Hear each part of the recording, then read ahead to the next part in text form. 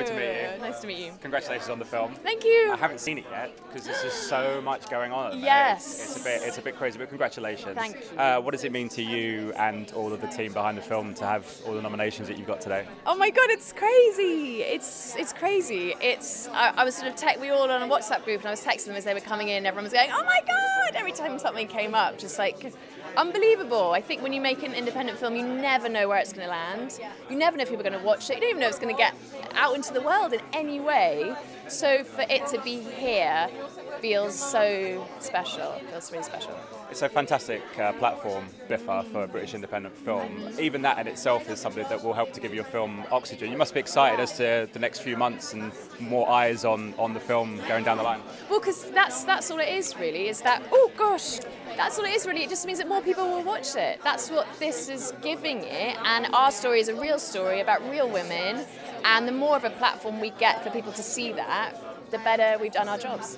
What can you tell people about the film that haven't seen it? Because it's a little while before it goes out into the public domain. I think next year, sometime early next year. So what can you tell us? So it's a, a story about a gay lesbian, a gay lesbian, a lesbian netball teacher working in 88 in Newcastle, and she's struggling with her own sexual identity. And it's sort of set in the backdrop of um, Section 28, which is a law that was passed by Maggie Thatcher, where it made it illegal to promote homosexuality in schools.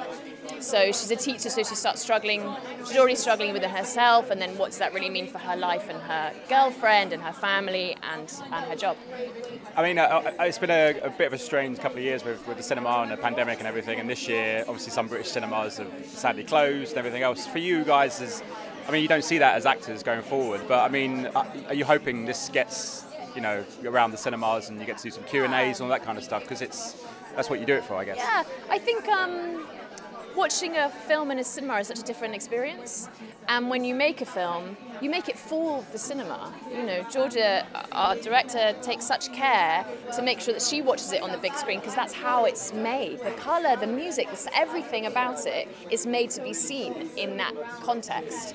So I hope people don't shy away from that or, or get lazy and wait for a streaming platform because it's just a different experience. Yeah, and it, it feels like it's a story that's very, very timely, and obviously, in amongst all these big blockbusters and everything else that seems to monopolise cinemas these days, these stories are still massively important. Is that you echo that as uh, you know the, the cast and the filmmakers of this one?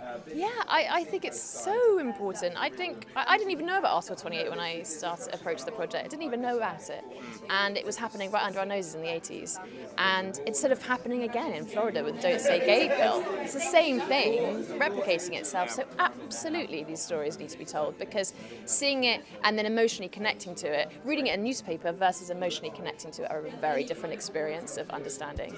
So yeah. And you're in great company. Have you managed to see any of the other films in the categories, or have you? Have No, you... I actually haven't. We were in Venice, but I didn't. It's really hard to get into a film in Venice. Yeah, Who knew? I had the all access pass and everything, and I barely got into any. So I hope I'll be able to see them probably with everyone else. Yeah, there's a lot of good stuff in there this year. Yeah, so good, so Uh, juicy. congratulations again. Wish you all the best. Thanks Thank so much for stopping. much. Thank you. Thank you. Cheers. Ladies and gentlemen, you're watching HeyUGuys!